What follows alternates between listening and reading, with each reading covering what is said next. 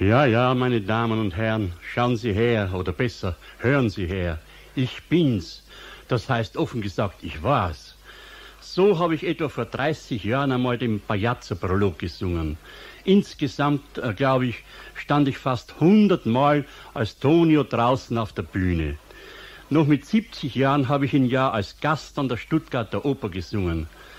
Mein Gott, und jetzt ist mir 75 und ich sing immer noch. Es ist schade, meine Damen und Herren, dass keine Tonaufnahmen von meinem damaligen Gastspiel vorhanden sind. Ich hätte Ihnen ganz gern jetzt zum Vergleich meinen damaligen Tonio vorgeführt. Nun, so müssen Sie sich eben mit einer älteren Aufnahme zufrieden geben, die ich einmal bei der Grammophon gesungen habe.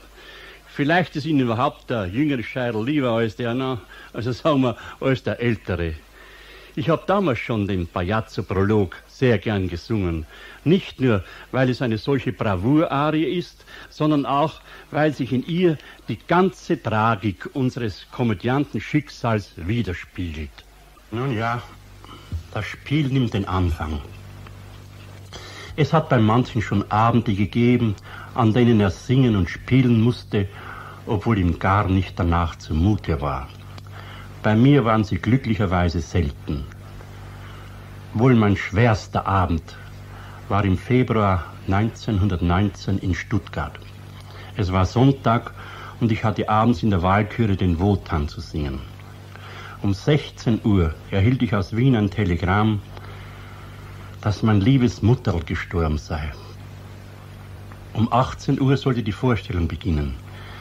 Es war für mich kein Ersatz zu finden und ich musste singen. Ich vermag es Ihnen nicht zu schildern, wie mir zumute war, als ich Wotans Abschied Leb wohl, du kühnes, herrliches Kind gesungen habe. Ansonsten muss ich, wenn ich ehrlich sein will, sagen, ich war im Großen und Ganzen unberufen, toi, toi, toi, ein bisschen ein Glückskind. Sieben Kinder sind wir gewesen. Zwei Mädeln und fünf Buben.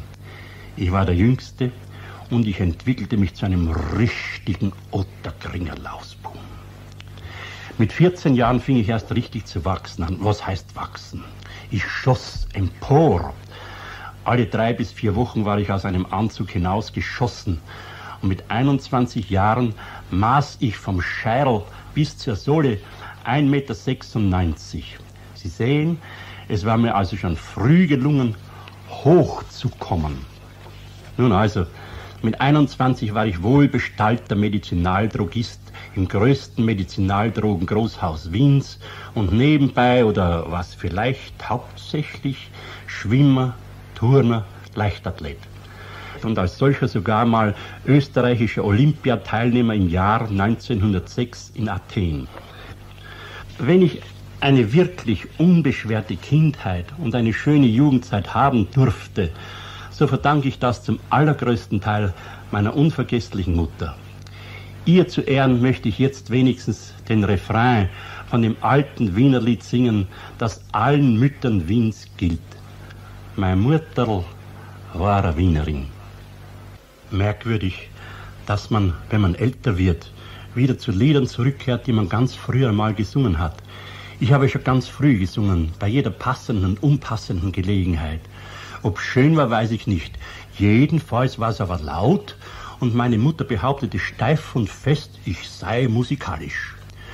Ohne jemandem etwas zu sagen, äh, Hellinge also, meldete ich mich zum Vorsingen bei der Wiener Volksoper und siehe da, man vertraute mir gleich den Herrufer im Lohengrin an.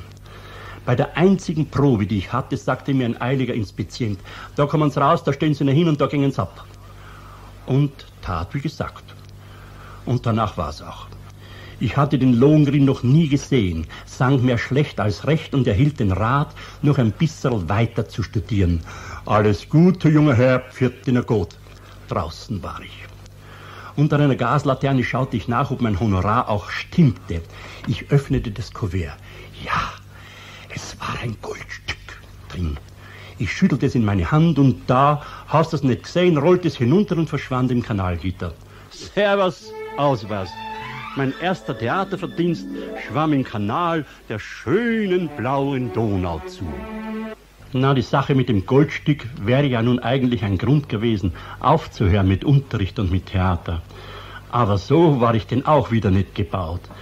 Kurz und gut, als ich fertig war mit dem Studium, sang ich einem Agenten und dann dem Herrn Direktor selber vor und wurde eins, zwei, drei an das Stadttheater in Olmütz engagiert. Nichts gegen Olmütz. Es war damals ein Städtchen mit ganzen 20.000 Einwohnern und Abend für Abend war das hübsche Theater voll. Und gearbeitet haben wir. Nicht war für die 20.000 Leute, da konnte ein Stück nicht lang am Spielplan bleiben. Zwei, drei Aufführungen und schon was abgespielt. Der Graf Luna war die erste Partie in Olmütz. Ich habe sie später noch oft gesungen, so an die 50 Mal. Ein paar Mal übrigens äh, für Schallplatten. Auch das bekannte der Z, Wilde Eifersucht im Herzen. Äh, äh, hier habe ich eine Platte, aber bitteschön, halten Sie ein bisschen die Ohren zu. Die Aufnahme ist noch akustisch gemacht worden, so um 1920 herum als noch ein heftiger Kampf der Sänger um den Platz vor dem Trichter entbrannte. Der, der direkt hineinsang, klang am besten. Wer weiter weg war, kam wie aus der Versenkung oder aus der Gießkanne. Äh, bittchen, ein Stickerl aus dem DZ. Äh, ganz so hat es natürlich in Olmütz nicht geklungen. Und trotzdem habe ich der kleinen Stadt und ihrem theaterfreudigen Publikum viel zu danken. Olmütz eignete sich herrlich, den Anfänger vom Scheidel abzustreifen. Ein Jahr später, 1912, war ich in Augsburg. Da kam eines Tages Oberregisseur Hofrat Gerhäuser vom Hoftheater in Stuttgart, um sich unseren Sarastro in der Zauberflöte anzuhören. Ich sang den Sprecher, eine kleine, aber schöne Rolle. In der Pause erwartete der Sarastro den Herrn Hofrat, aber schau, schau, der Herr Hofrat betrat nicht die Garderobe des Sarastros, sondern die des Sprechers, bat ihn, ihm etwas vorzusingen, und so zog ich also nun in Stuttgart ein als königlicher Hofopernsänger. Hervorragende Kräfte waren am Werk. Da war der Baron von Putlitz, der Intendant, dann Max von Schillings, der Generalmusikdirektor, und da war ein Solistenensemble schöner und schönster Stimmen. Und da war auch ein gewisses, überaus nettes, schwarzhaariges Schwabenmädle, allgemeins Hauserle genannt. Und in deren schwarze, sehr liebe Äugle habe ich mich verguckt, für mein Lebtag verguckt. Ich weiß eigentlich gar nicht so genau, was mir so besonders an ihr gefallen hat. Was ihr Gesicht, was ihr Stimme, was das ganze Außenrum. Auf jeden Fall, ehe wir uns versahen, waren wir, nachdem die Erlaubnis zur Heirat durch ein offizielles Dekret erteilt worden war, auch schon verheiratet und ich habe das bis zur Stunde nicht bereut. Ein lieber Kollege, der im Spaß immer von sich gesagt haben soll, äh, gang da weg, dass mein Stimm Platz hat, sagte damals, äh, da kommt so ein langer Kerle daher und schon existiert fürs Hauserle kein Mensch mehr. Oh ja, schön war diese Stuttgarter Zeit. Überall hat Harmonie geherrscht, zu Hause, in der Stadt und am Theater. Ach ja, was einem da so alles einfällt, wenn man an die Stuttgarter Zeit denkt. Da war einmal eine Festvorstellung irgendwo außerhalb, ich weiß nicht mehr wo, von Tristan und Isolde vor hohen Herrschaften und Offizieren. Wir spielten in glänzender Besetzung. Schielings dirigierte, die Wildbrunn, die Onjegin, Ritter, Helgers, meine Wenigkeit und so weiter sangen. In der großen Pause erkundigte sich Baron Putlitz, unser Intendant in der Ehrenloge, ob die Mitwirkenden gefielen.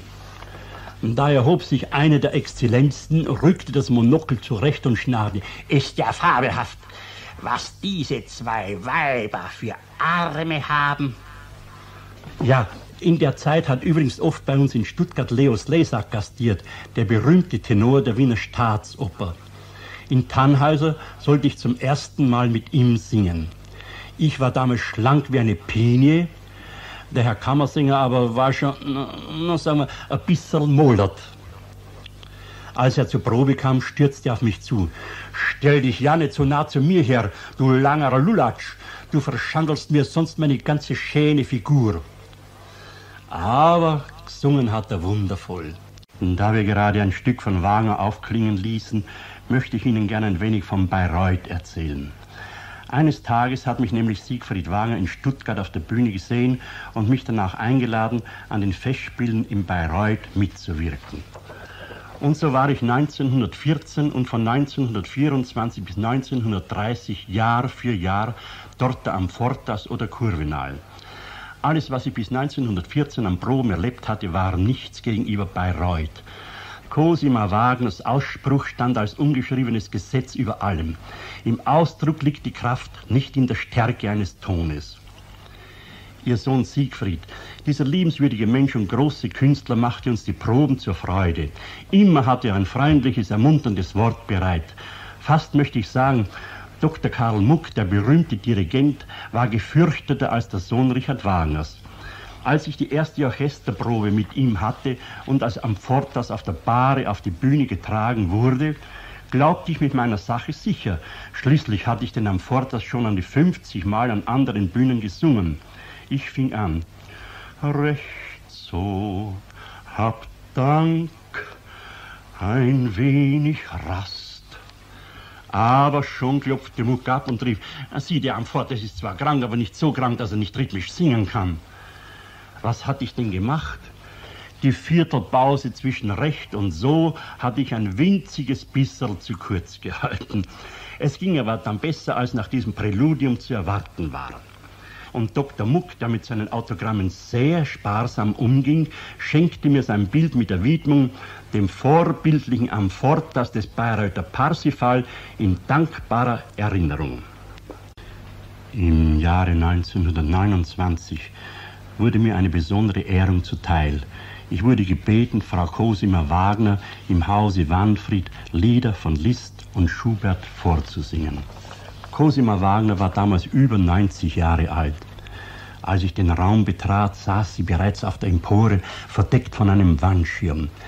Es hatte etwas Beklemmendes und doch überaus Feierliches, in diesem Raum zu singen vor einer Zuhörerin, die nicht zu sehen war. Und was für eine Zuhörerin. Ihr hohes Alter allein gab es schon etwas Mythisches.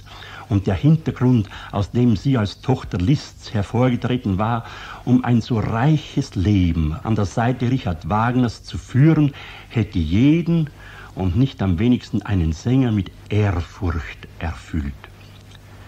Da saß sie hinter dem gestickten Wandschirm in dem Raum, in dem jedes Bild, jeder Leuchter, kurz alles an den toten Meister gemahnte. Endlich fasste ich mich und begann zu singen. Es war eines der gewünschten Lieder von Liszt, das ich kürzlich übrigens auch im Rundfunk als Aufnahme gesungen habe. O komm im Traum.